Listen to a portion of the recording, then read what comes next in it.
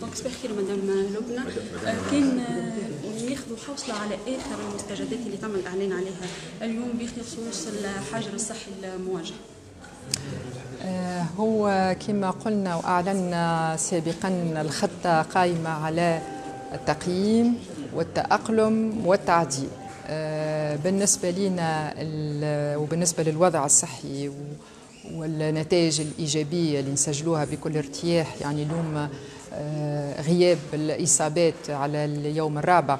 وبالطبع مع مواصلة الحذر وأنه الخطر معناها نعرفوه مازال موجود وإحنا نشوفوا التجارب اللي تحصل في البلدان المجاورة. donc الهدف منا هو الحذر والتدرج وكيف كيف التأقلم donc أعلنا اليوم على قطاعات اللي ستفتح من غد.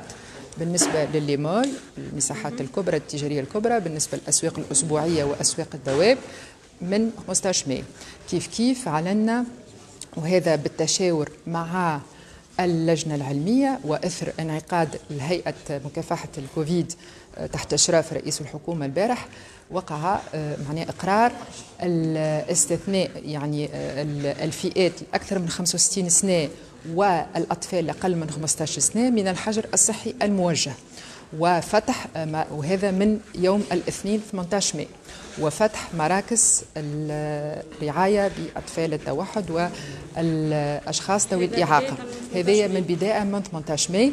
بالطبع هذا لا يعني معناها آه، أنه يلزم الاحترام كل التدابير.